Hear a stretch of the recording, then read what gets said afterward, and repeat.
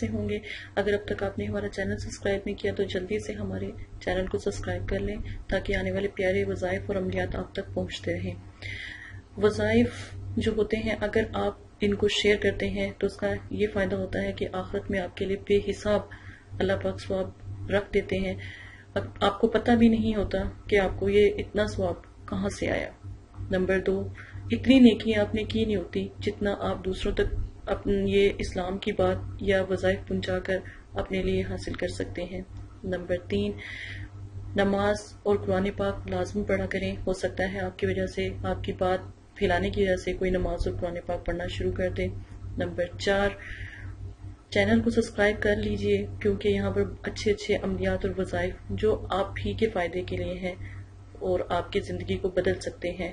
Number پانچ، اگر آپ ہمارے چینل پر اپنے کسی دوست وغیرہ کو لے کر آتے ہیں، تو وہ بھی آپ کی توجہ سے ہمارے چینل پر سبسکرائب کرتے ہیں یا ہماری ویڈیو کو لائک اور شیئر کرتے ہیں، تو اس کا سال سواب بھی آپ تک پہنچتا رہے گا۔ اعوذ باللہ من الشیطان الرجیم، بسم اللہ الرحمن الرحیم۔ میرے پیارے بہن اور بھائی امید کرتی ہوں کہ آپ سب خیریت سے ہوں گے۔ اگر اب تک آپ نے ہماری ویڈیو کو شیئر نہیں کیا، تو پلیز ہماری ویڈیو کو شیئر کریں۔ لائک کریں، سبسکرائب بھی ہمارے چینل کو کریں تاکہ آپ کو تمام ویڈیو آسانی سے بھی مل جائیں۔ اور ساتھ میں جو ہے، ہمارے مطلب کہ جتنی بھی عملیات کی ویڈیو ہے، انفارمیشن ویڈیو ہے، جتنی بھی آپ کو بآسانی ملتی ہے۔ سورہ فاتحہ کا سات دن کا وظیفہ آج میں آپ کو بتاؤں گی۔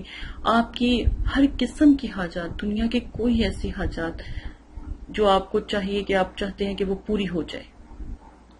سورہ فاتحہ کا سات دن کا یہ وظیفہ ہے۔ نمبر دو اگر آپ چاہتے ہیں، اگر آپ چاہتے ہیں کہ آپ اللہ پاک کے قریب ہو جائیں، اللہ پاک کا قرب حاصل ہو جائے، یا نبی پاک صلی اللہ علیہ وسلم کا دیدار نصیب ہو جائے، یہاں تک اتنی یہ بھی دعا انشاءاللہ اس سے پوری ہو جاتی ہے، آپ کی کوئی بھی حاجت ہو، الحمدللہ الحمدللہ پوری دنیا کی کوئی بھی حاجت ہو، پوری ہو جاتی ہے۔ اور ایسے ہیں جیسے ایک تلسم ہوتا ہے ایسے ہیں جیسے جیسے آپ حیات کا یہ کام کرتے ہیں۔ اس میں اعظم جیسی بڑی نعمتوں میں اس کو شامل کیا جاتا ہے۔ سورہ فاتحہ ایک لاجواب وظیفہ میں آپ کو بتاؤں گی۔ اور کوشش کریں، ساتھ میں نماز پڑھیں، اللہ پاک سے دعا کریں۔ اللہ پاک جو ہے، آپ کی پریشانی دکھ تکلیفیں بھی ختم کرے۔ اور اس کا یہ فائدہ ہے کہ اگر آپ رزق کے لیے کرتے ہیں، تو یقین مانے آپ کے پاس بہت پیسہ آ جاتا ہے۔ جیسے آپ چاہتے ہو کہ آپ کے پاس لاکھوں کروڑوں روپیہ آ جائے، آپ کے پاس اس سے بھی زیادہ آ جاتا ہے۔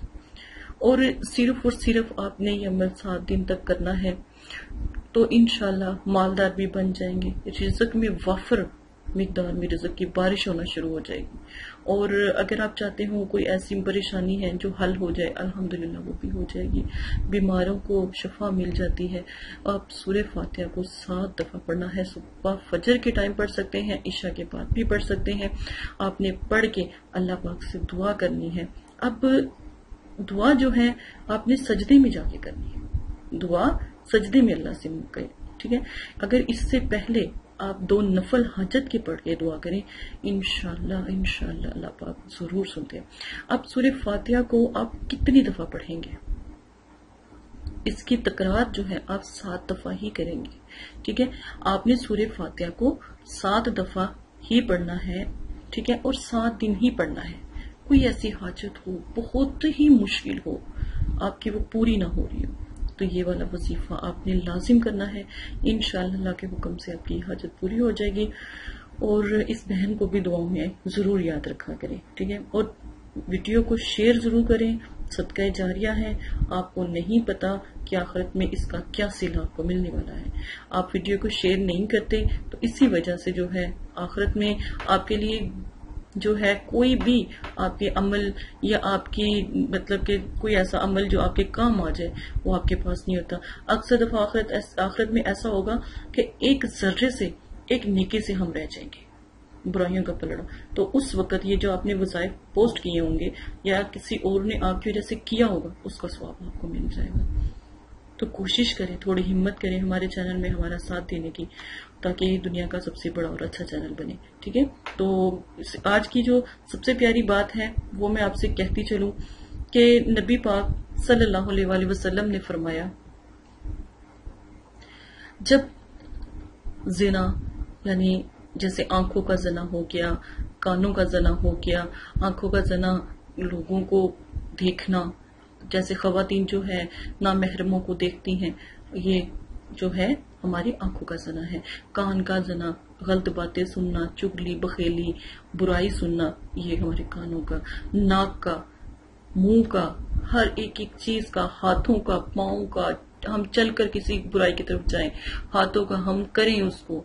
ایک ایک چیز کا جو ہے زنا ہوتا ہے۔ جب زنا عام ہو جاتا ہے، موتیں یعنی اچانک موت ہونا شروع ہو جاتی، لوگ مرنا شروع ہو جاتے ہیں۔ جب ریاکاری بڑھ جائے تو زلزلے بکثرت سے آنا شروع ہو جاتے ہیں۔ جب عہد شکینی ہو یا عہد شکنی کریں گے تو اللہ تعالیٰ انہیں قتل کرنے کے ذریعے سے آزمائے گا۔ یعنی کہ وہ لوگوں کا قتل شروع کر دیں گے۔